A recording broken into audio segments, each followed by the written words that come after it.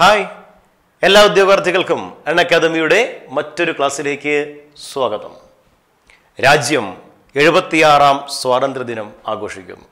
ഇന്ത്യയുടെ സ്വാതന്ത്ര്യ സമര ചരിത്രത്തിന്റെ സുവർണ ഏടുകൾ അഭിമാനത്തോടെ ഓർക്കുന്ന ഈ ഒരു സമയത്ത്. കേരള പി എസ് സി സ്വാതന്ത്ര്യദിനവും ഇന്ത്യ പാകിസ്ഥാൻ വിഭജനവുമായി ബന്ധപ്പെട്ട് ചോദിച്ചിട്ടുള്ള പ്രധാനപ്പെട്ട ചില വസ്തുതകളും അതുമായി ബന്ധപ്പെട്ട പ്രധാനപ്പെട്ട കാര്യങ്ങളും നമ്മൾ പരിശോധിക്കുന്നു. നോക്കാം നമുക്ക് ക്ലാസ്സിലേക്ക്. വിധിയുടെ ചക്രങ്ങൾ തിരിയുമ്പോൾ ഒരു നാൾ ഇന്ത്യ ഉപേക്ഷിക്കാൻ ബ്രിട്ടീഷുകാരെ നിർബന്ധിതരാക്കും. അപ്പോൾ ഏത് രൂപത്തിലുള്ള ഇന്ത്യയാകും ഇവിടെ ഉപേക്ഷിക്കുക? നൂറ്റാണ്ടുകളായുള്ള അവരുടെ ഭരണത്തിന്റെ അരുവി ഒടുവിൽ വറ്റിവരളുമ്പോൾ ഇവിടെ അവശേഷിക്കുന്നത് ചെളിയുടെയും അഴുക്കിന്റെയും കൂമ്പാരം ആയിരിക്കും. സാക്ഷാൽ രവീന്ദ്രനാഥ് ടാഗോറിന്റെ വാക്കുകളാണ്. നൂറ്റാണ്ടുകളായുള്ള ബ്രിട്ടീഷ് കൊളോണിയൽ ഭരണത്തിന്റെ ഉൽപ്പന്നമായി ഒരു നാളിൽ ബ്രിട്ടീഷുകാർക്ക് ഇന്ത്യയെ സ്വതന്ത്രമാക്കേണ്ടി വരുമെന്നും അങ്ങ് സ്വതന്ത്രമാകുന്ന ഇന്ത്യ ചെളിയുടെയും അഴുക്കിന്റെയും കൂമ്പാരമായിരിക്കുമെന്ന് ദീർഘദൃഷ്ടിയോടെ ആ മനുഷ്യൻ പറഞ്ഞിരിക്കുന്നു. അക്ഷരാർത്ഥത്തിൽ ചെളിയുടെയും അഴുക്കിന്റെയും കൂമ്പാരമായ ഒരു ഭാരതം തന്നെയാണ് ഇന്ത്യയ്ക്ക് ബ്രിട്ടീഷുകാർ സമ്മാനിച്ചത്. എ ഡി ആയിരത്തി അറുന്നൂറിൽ ഇംഗ്ലീഷ് ഈസ്റ്റ് ഇന്ത്യ കമ്പനി സ്ഥാപിക്കപ്പെട്ടു. കച്ചവടത്തിന് എന്ന് പറഞ്ഞ് ഇന്ത്യയിലേക്കെത്തിയ ബ്രിട്ടീഷുകാർ ഈസ്റ്റ് ഇന്ത്യ കമ്പനി പതിയെ പതിയെ കോളനിവൽക്കരണത്തിലൂടെ ഇന്ത്യയെ അടക്കി ഭരിച്ച കഥ. വല്ലാത്തൊരു കഥ നമുക്കറിയാം. ഈസ്റ്റ് ഇന്ത്യ കമ്പനി ഇന്ത്യ ഉൾപ്പെടെയുള്ള കിഴക്കൻ രാജ്യങ്ങളിലേക്ക് കച്ചവടത്തിനായുള്ള റോയൽ ചാർട്ടർ അനുവദിച്ചത് എലിസബത്ത് രാജ്ഞിയാണ്. എലിസബത്ത് രാജ്ഞിയുടെ വാറോലയും കയ്യിൽ പിടിച്ചുകൊണ്ട് ബ്രിട്ടീഷുകാർ ആദ്യമായി സമുദ്ര പര്യടനം ആരംഭിച്ചു. ഈസ്റ്റ് ഇന്ത്യ കമ്പനി സമുദ്ര പര്യടനം ആരംഭിച്ച കപ്പലിന്റെ പേര് റെഡ് ഡ്രാഗൺ എന്നായിരുന്നു. റെഡ് ഡ്രാഗൺ എന്ന കപ്പലിലാണ് ഈസ്റ്റ് ഇന്ത്യ കമ്പനിയുടെ ആദ്യ സമുദ്ര പര്യടനം. ഈസ്റ്റ് ഇന്ത്യ കമ്പനി ഇന്ത്യയിലേക്ക് എത്തിച്ചേർന്ന കപ്പലിന്റെ പേര് ഹെക്ടർ എന്നായിരുന്നു. ഹെക്ടർ എന്ന പായ്ക്കപ്പലിലാണ് ഈസ്റ്റ് ഇന്ത്യ കമ്പനി ഇന്ത്യയിലേക്ക് എത്തിയത്. ഇന്ത്യയിലേക്ക് എത്തിയിട്ടോ കച്ചവടത്തിനായി എന്ന് പറഞ്ഞ് എത്തിച്ചേർന്നവർ ഇന്ത്യയിലെ സമ്പന്നമായ പ്രവിശ്യകളിൽ പതിയെ പതിയെ ആധിപത്യം സ്ഥാപിച്ചു. ബംഗാളായിരുന്നു പ്രധാന ശ്രദ്ധാകേന്ദ്രം ഇന്ത്യയിലെ വിപ്ലവത്തിന്റെ മാതാവെന്നറിയപ്പെട്ട ബംഗാൾ പ്രവിശ്യ മാത്രമല്ല ഏറ്റവും സമ്പന്നമായ പ്രവിശ്യ കൂടിയായിരുന്നു ബംഗാൾ. ബംഗാളിനെ കുറിച്ച് പുറത്തറിയപ്പെട്ടത് it is a land full of flowing milk and honey തേനും പാലും ഒഴുകുന്ന സമ്പന്നമായ പ്രവിശ്യ.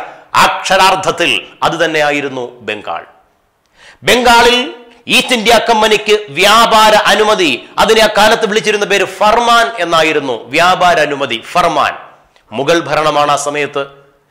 വ്യാപാര അനുമതിയായിട്ടുള്ള ഫർമാൻ ഈസ്റ്റ് ഇന്ത്യ കമ്പനിക്ക് അനുവദിച്ചത് ആരാണ്? മുഗൾ രാജാവായിരുന്ന ഫറൂഖ് സിയ എന്നാണ് പേര് അദ്ദേഹത്തിന്റെ. എന്താണ്? ഫറൂഖ് സിയ. അപ്പോൾ ഓർത്തിരിക്കുക മുഗൾ രാജാവായിരുന്ന ഫറൂഖ് സിയ അനുവദിച്ച ഫർമാൻ ആയിരുന്നു ഈസ്റ്റ് ഇന്ത്യ കമ്പനിക്ക് ബംഗാളിന്റെ മണ്ണിൽ ആദ്യമായി കച്ചവടത്തിന് വ്യാപാരത്തിനുള്ള അനുമതി മുന്നോട്ട് വച്ചത്.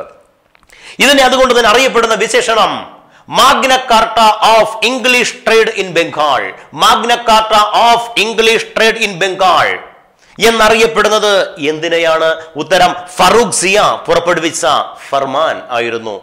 മറക്കരുത്. അപ്പോൾ ബംഗാളിൽ ആദ്യമായി കച്ചവടത്തിനായുള്ള അനുമതി അനുവദിച്ചത് ആ മുഗൾ രാജാവായിരുന്ന ആര് തന്നെയാണ്? ഫറൂഖ് സിയാണ്. പതിയെ പതിയെ ഈസ്റ്റ് ഇന്ത്യ കമ്പനി ശക്തി പ്രാപിച്ചു. ഈസ്റ്റ് ഇന്ത്യ കമ്പനിയുടെ രൂപീകരണത്തിന് നിർണായകമായ പങ്കുവഹിച്ച കച്ചവടക്കാരുടെ സംഘടനയുടെ പേര് നിങ്ങൾ കേട്ട് കാണും. മർച്ചന്റ് അഡ്വഞ്ചറീസ് എന്നായിരുന്നു പേര്.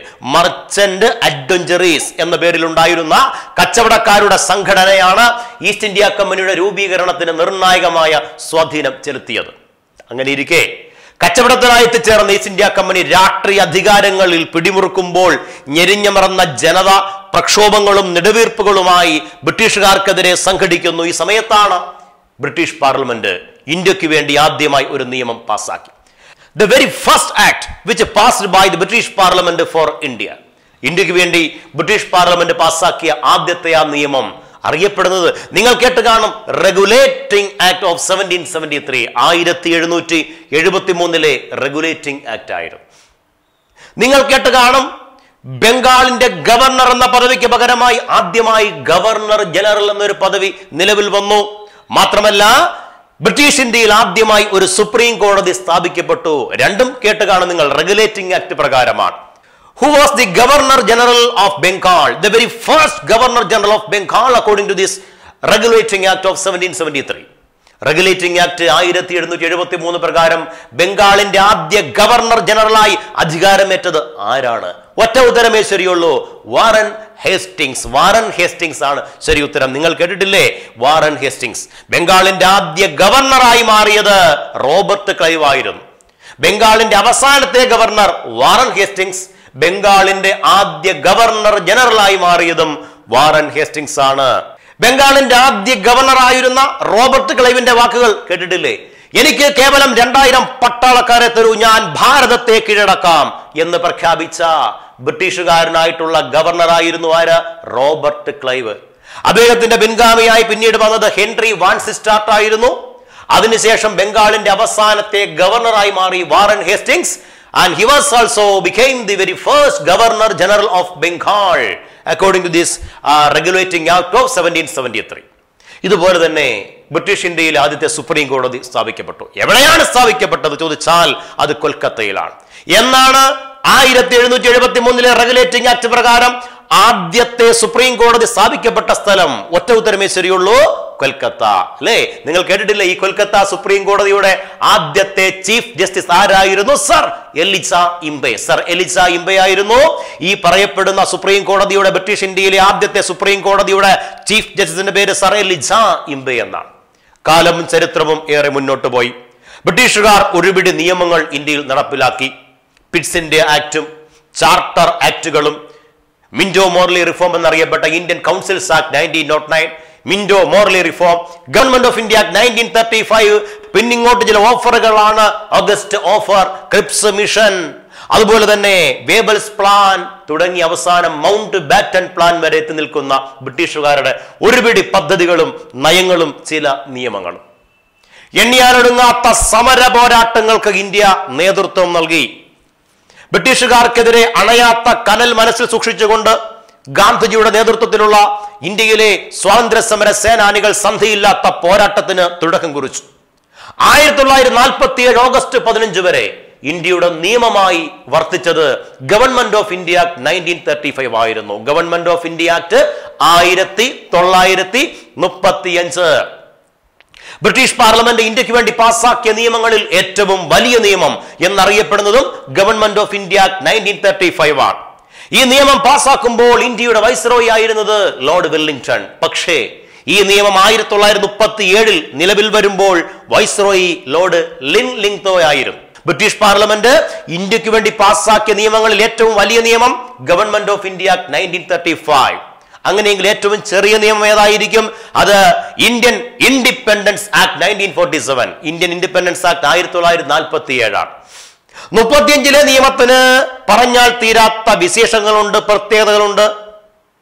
The most profounded influence to the Indian constitution Kerala P S C ചോദിച്ച പ്രീവിയസ് ചോദ്യമാണ്. ഇന്ത്യൻ ഭരണഘടന ഏഴ് ഏറ്റവും ആഴത്തിൽ സ്വാധീനിച്ച നിയമം എന്നറിയപ്പെടുന്നത് ഏത്? ഉത്തരം government of India nineteen thirty five why എന്തുകൊണ്ട് അങ്ങനെ പറയാൻ കാരണം?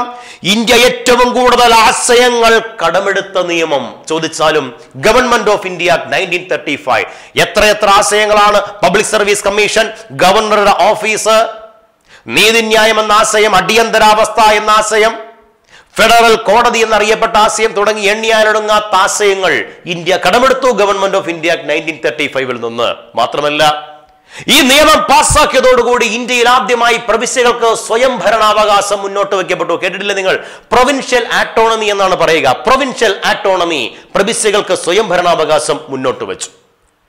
ഇതിന് പ്രകാരം ഇന്ത്യയിലെ പല പ്രവിശ്യകളിലും ജനകീയ സർക്കാരുകൾ നിലവിൽ വന്നു. ഇപ്രകാരം തിരുവിതാംകൂറിലും കൊച്ചിയിലും ദിവാന്റെ ദുർഭരണത്തിനെതിരെ ജനകീയ സർക്കാരുകൾ നിലവിൽ വരണമെന്ന് ആവശ്യപ്പെട്ടുകൊണ്ട് ഉത്തരവാദ ഭരണ പ്രക്ഷോഭം ആരംഭിച്ചു. കേട്ടിട്ടില്ലേ നിങ്ങൾ? തിരുവിതാംകൂറിൽ തിരുവിതാംകൂർ സ്റ്റേറ്റ് കോൺഗ്രസും കൊച്ചിയിൽ കൊച്ചി രാജ്യ പ്രജാമണ്ഡലവും ഈ പ്രക്ഷോഭങ്ങൾക്ക് നേതൃത്വം നൽകി. എനിവേ നമ്മൾ പറഞ്ഞത് government of India nineteen thirty five. ഈ നിയമത്തെ അതുകൊണ്ട് തന്നെ വിളിക്കുന്ന പേര് ഇന്ത്യൻ ഭരണഘടന ഇത്രയും ആശയങ്ങൾ കടമെടുത്തു. ഇന്ത്യൻ ഭരണഘടന ഏറ്റവും സ്വാധീനിച്ചു. അതുകൊണ്ട് തന്നെ അറിയപ്പെടുന്ന പേര് blueprint of the constitution of India Indian ഭരണഘടനയുടെ ബ്ലൂ പ്രിന്റ് ഇന്ത്യൻ ഭരണഘടനയുടെ ബ്ലൂ പ്രിന്റ് എന്നറിയപ്പെടുന്ന നിയമം ഏത് ചോദിച്ചാൽ government of India nineteen thirty five ഈ നിയമം പാസ്സാക്കിയതോടുകൂടി വന്ന പ്രധാനപ്പെട്ട മറ്റു പ്രധാനപ്പെട്ട മാറ്റങ്ങൾ. ഒന്ന് ഞാൻ പറഞ്ഞു നിങ്ങളോട് എന്താണ്? ഇന്ത്യയിൽ ആദ്യമായി പ്രൊവിൻഷ്യൽ ആട്ടോണമി മുന്നോട്ട് വെച്ചു. പ്രവിശ്യകൾക്ക് സ്വയം ഭരണാവകാശം മുന്നോട്ട് വെച്ചു. മറ്റൊന്നോ പ്രധാനപ്പെട്ട ഒന്ന് ഇന്ത്യയിൽ ഉണ്ടായിരുന്ന പ്രവിശ്യകളിലെ ദിഭരണം അവസാനിപ്പിച്ചു. പ്രവിശ്യകളിലെ ദിഭരണം അവസാനിപ്പിച്ചു. പക്ഷേ പൂർണമായും ദിഭരണം അവസാനിച്ചില്ല. കേന്ദ്രീകൃത ദിഭരണമായി അതിനെ നിലനിർത്തി. Provincial autonomy was enable and also bicameral system in provinces was ended പ്രവിശ്യകളിലെ സ്വയംഭരണാവകാശം അവസാനിച്ചു. പകരം കേന്ദ്രീകൃത ഭരണത്തിന് തുടക്കം കുറിക്കുകയും ചെയ്തു. ഏറ്റവും വലിയ പ്രത്യേകത government of India nineteen thirty five ഈ കഴിഞ്ഞ ഡിഗ്രി ലെവൽ പരീക്ഷകൾക്ക് കേരള ബേസി ചോദിച്ചൊരു ചോദ്യമാണ്. ഇന്ത്യൻ ഭരണഘടനയുടെ മാർഗനിർദ്ദേശക തത്വങ്ങൾ എന്നറിയപ്പെടുന്നത് ഏത് നിയമത്തിലെ ഇൻസ്ട്രുമെന്റ് ഓഫ് ഇൻസ്ട്രക്ഷൻസിനോട് അഭേദ്യമായ സാമ്യമുണ്ട്? കേരള പി സിയുടെ ഒരു മാർക്കിന്റെ ചോദ്യമായിരുന്നു.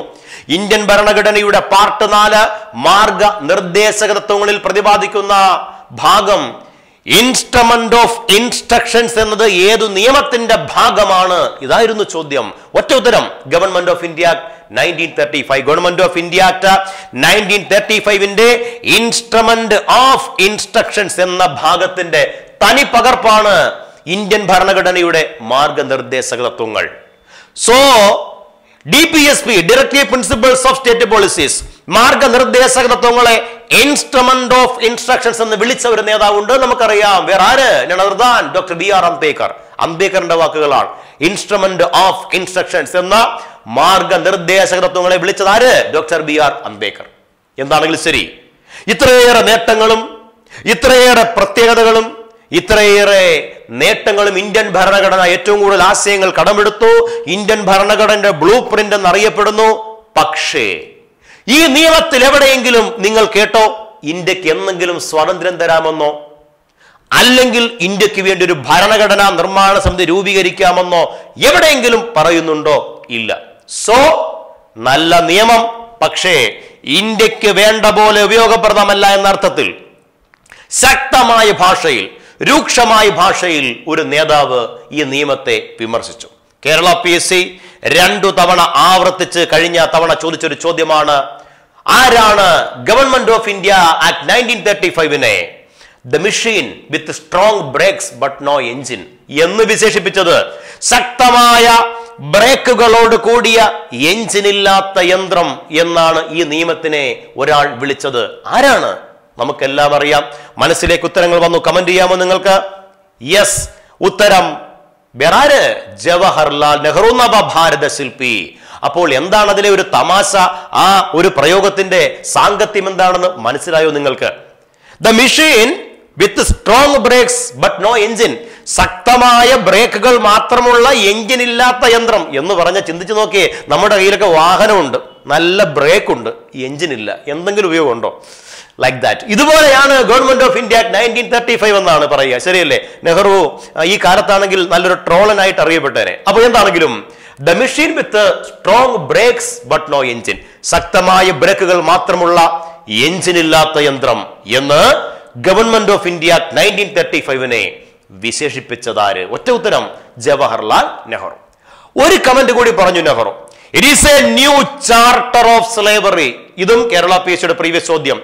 A new charter of slavery അടിമത്തത്തിന്റെ പുത്തൻ പ്രമാണം. എന്ന് ജവഹർലാൽ നെഹ്റു വിളിച്ചത് എന്തിനെ ചോദിച്ചാലും government of India nineteen thirty five കിട്ടിയോ? ഇന്ത്യയ്ക്ക് ആയിരത്തി തൊള്ളായിരത്തി നാൽപ്പത്തി ഏഴിൽ സ്വാതന്ത്ര്യം കിട്ടുന്നത് വരെ ഇന്ത്യയുടെ നിയമമായിരുന്നു government of India act nineteen thirty five okay? ആയിരത്തി തൊള്ളായിരത്തി നാൽപ്പത് മുതൽ ഇന്ത്യക്കാരന്റെ സമരത്തിന്റെ രൂപവും ഭാവവും മാറുകയായിരുന്നു. നിങ്ങൾക്കറിയാം ആയിരത്തി തൊള്ളായിരത്തി നാൽപ്പത്തിരണ്ടിൽ ഗാന്ധിജിയുടെ നേതൃത്വത്തിൽ ഇന്ത്യയിലെ അവസാനത്തെ ബഹുജന സമരത്തിന് തുടക്കം കുറിച്ചു. കിറ്റ് ഇന്ത്യ പ്രക്ഷോഭം. കാലവും ചരിത്രവും അടയാളപ്പെടുത്തിയ മഹത്തായ പോരാട്ടം കൃഷകാത്തരനായ മനുഷ്യന്റെ പിന്നിൽ ആയിരങ്ങൾ അണിനിരന്നു. കിറ്റ് ഇന്ത്യ സമരത്തിന് ശേഷം ഇന്ത്യയ്ക്ക് സ്വാതന്ത്ര്യം നൽകണമെന്നുള്ള തീരുമാനം ബ്രിട്ടീഷ് പാർലമെന്റ് എടുക്കാൻ നിർബന്ധിതമായി. നിങ്ങൾ കേട്ട് കാണും ആയിരത്തി തൊള്ളായിരത്തി നാൽപ്പത്തി ആറിൽ ക്യാബിനറ്റ് മിഷൻ ഇന്ത്യയിൽ എത്തിച്ചേരുന്നു. ആയിരത്തി തൊള്ളായിരത്തി നാൽപ്പത്തി ആറ് മാർച്ച് മാസം ഇരുപത്തിമൂന്നിന് കറാച്ചിയിലും ഇരുപത്തിനാലിന് ഡൽഹിയിലും ക്യാബിനറ്റ് മിഷൻ സന്ദർശനം നടത്തുകയാണ്. ക്യാബിനറ്റ് മിഷന്റെ നിർദ്ദേശപ്രകാരം ഇന്ത്യയിൽ ആദ്യമായി ഒരു ഇടക്കാല മന്ത്രിസഭ നിലവിൽ വരുന്നു. അന്റേം ഗവൺമെന്റ് ഒരു ഇടക്കാല മന്ത്രിസഭ. ഇടക്കാല മന്ത്രിസഭയുടെ പ്രസിഡന്റ് ആയിരുന്നത് ലോർഡ് വേവൽ. ഇടക്കാല മന്ത്രിസഭയിൽ വൈസ് പ്രസിഡന്റ് ആയിരുന്നത് സാക്ഷാൽ ജവഹർലാൽ നെഹ്റു ആയിരുന്നു. ഇടക്കാല മന്ത്രിസഭയിൽ ധനകാര്യമന്ത്രിയായിരുന്നത് മലയാളി കൂടിയായിരുന്ന ഡോക്ടർ ജോൺ മത്തായി. എന്നാൽ ഇടക്കാല മന്ത്രിസഭയിൽ ആദ്യത്തെ ബഡ്ജറ്റ് അവതരിപ്പിച്ചത് ലിയാഖത്ത് അലി ഖാൻ. ലിയാഖത്ത് അലി ഖാൻ. അതെങ്ങനെ ശരിയാകും? നിങ്ങൾ കേട്ടിട്ടില്ലേ? ഇടക്കാല മന്ത്രിസഭയിൽ ധനകാര്യമന്ത്രിയായിരുന്നത് ജോൺ മത്തായി. പിന്നെ എങ്ങനെയാണ് ലിയാഖത്ത് അലി ഖാന് ആദ്യ ബഡ്ജറ്റ് അവതരിപ്പിക്കാൻ കഴിയുക? ആയിരത്തി തൊള്ളായിരത്തി നാൽപ്പത്തിരണ്ടിന് ശേഷം നമുക്കറിയാം മുസ്ലിം ലീഗ് ദിരാഷ്ട്രവാദം നടപ്പിലാക്കണമെന്ന് ആവശ്യപ്പെട്ടുകൊണ്ട് പ്രക്ഷോഭത്തിലാണ്. ഇടക്കാല മന്ത്രിസഭയിൽ സഹകരിക്കാൻ മുസ്ലിം ലീഗ് തയ്യാറായില്ല. പിന്നീട് മുസ്ലിം ലീഗിനെയും കൂടി ഉൾപ്പെടുത്തിക്കൊണ്ട് ഈ മന്ത്രിസഭ പുനഃസംഘടിപ്പിക്കേണ്ടി വന്നതിന്റെ ഭാഗമായി. ജോൺ മത്തായിക്ക് പകരം ധനകാര്യമന്ത്രിയായി മാറിയത് ലിയാഖത്ത് അലി ഖാൻ അല്ലേ? അദ്ദേഹം പിന്നീട് പാകിസ്ഥാന്റെ ആദ്യ പ്രധാനമന്ത്രിയായി മാറി എന്നും ചരിത്രം. Who became the financial minister of the Indian government of nineteen forty six replaced by doctor John Mathai. John മത്തായിക്ക് പകരം ഇടക്കാല മന്ത്രിസഭയിൽ ധനകാര്യ മന്ത്രിയായ നേതാവ് ലിയാഖത്ത് അലി ഖാൻ ആയിരുന്നു. ഇന്ത്യയുടെ സ്വാതന്ത്ര്യം. അങ്ങനെ ഇരിക്കെ ആ മഹാദിനം കടന്നെത്തി. ഇന്ത്യയുടെ സ്വാതന്ത്ര്യം ആദ്യമായി ബ്രിട്ടീഷ് പാർലമെന്റിൽ പ്രഖ്യാപിക്കപ്പെട്ടു. ആരാണ്? ഇന്ത്യയുടെ സ്വാതന്ത്ര്യം ആദ്യമായി ബ്രിട്ടീഷ് പാർലമെന്റിൽ പ്രഖ്യാപിച്ചത് ആരാണ്? ഒറ്റ ഉത്തരമേ ശരിയുള്ളൂ ബ്രിട്ടീഷ് പ്രധാനമന്ത്രിയായി പിന്നീട് മാറിയ ക്ലമന്റ് ആറ്റിലി ക്ലമന്റ് ആറ്റിലിയാണ്. ഇന്ത്യയ്ക്ക് സ്വാതന്ത്ര്യം കിട്ടുമ്പോൾ ലേബർ പാർട്ടി സ്ഥാനാർത്ഥിയായി മത്സരിച്ച് പതിറ്റാണ്ടുകൾ ഭരണം നടത്തിയിരുന്ന കൺസർവേറ്റീവ് പാർട്ടിയുടെ തേരോട്ടത്തിന് അറുതി വരുത്തിക്കൊണ്ട് ലേബർ പാർട്ടി സ്ഥാനാർത്ഥിയായി പ്രധാനമന്ത്രിയായി മാറിയ ആൾ ക്ലമന്റ് ആറ്റിലി. ആറ്റിലിയാണ് ഇന്ത്യയുടെ സ്വാതന്ത്ര്യം ബ്രിട്ടീഷ് പാർലമെന്റിൽ പ്രഖ്യാപിച്ചത്. എന്നാണ് ഇന്ത്യയുടെ സ്വാതന്ത്ര്യം ബ്രിട്ടീഷ് പാർലമെന്റിൽ പ്രഖ്യാപിക്കപ്പെടുന്നത്? ഉത്തരം ആയിരത്തി തൊള്ളായിരത്തി നാൽപ്പത്തി ഏഴ് ഫെബ്രുവരി ഇരുപത്. നാൽപ്പത്തിയേഴ് ഫെബ്രുവരി ഇരുപത്. ഈ പ്രഖ്യാപനത്തെ അറിയപ്പെടുന്നു വിഖ്യാതമായ ആറ്റിലിയുടെ പ്രഖ്യാപനം. അപ്പോൾ വിഖ്യാതമായ ആറ്റിലിയുടെ പ്രഖ്യാപനം എന്നറിയപ്പെടുന്ന ഈ ഒരു സ്വാതന്ത്ര്യ പ്രഖ്യാപനം ഉണ്ടായ ഡേറ്റ് മനസ്സിരുത്തി ഒന്ന് പഠിച്ചേ. ആയിരത്തി തൊള്ളായിരത്തി നാൽപ്പത്തി ഏഴ് ഫെബ്രുവരി ഇരുപത്. ഈ ഒരു പ്രഖ്യാപനത്തെ ജവഹർലാൽ നെഹ്റു രണ്ട് വിശേഷണങ്ങളിലൂടെ പ്രകീർത്തിച്ചു. ആദ്യം പറഞ്ഞു ധീരമായ കാൽവയ്പ്. ധീരമായ കാൽവെപ്പ് എന്ന് നെഹ്റു വിളിച്ചത് എന്തിനെ ഉത്തരം ആറ്റിലിയുടെ സ്വാതന്ത്ര്യ പ്രഖ്യാപനത്തെ.